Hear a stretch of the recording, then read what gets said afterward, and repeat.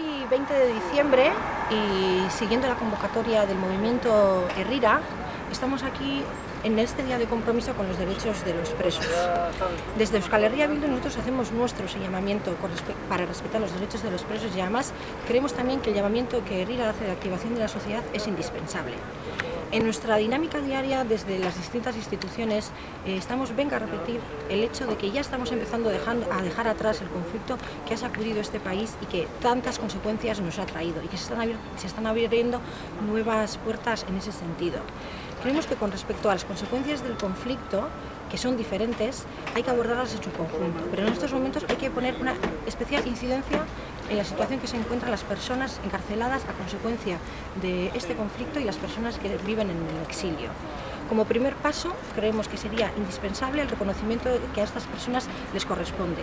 Por un lado, la, repatriación de, las personas represaliadas. Por otro lado, la escarcelación de las personas que se encuentran gravemente enfermas con enfermedades incurables. Por otro lado, que se deroguen inmediatamente las medidas que supongan una cadena perpetua como la doctrina Parón.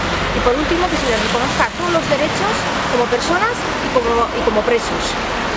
Para dar impulso a estas reivindicaciones y para exigir a los gobiernos español y francés que se impliquen y que empiecen a dar pasos en esa dirección, Herrera, además de llamar esta movilización, como se sabe ya hoy por hoy toda la sociedad vasca, ha llamado una movilización general el, día, el próximo 12 de enero. Nosotros desde H. Bildu estaremos ahí, pero creemos que se tiene que implicar toda la sociedad. Necesitamos que cada una de las personas individualmente se implique también con esta lucha y que participe en la manifestación del próximo 12 de enero.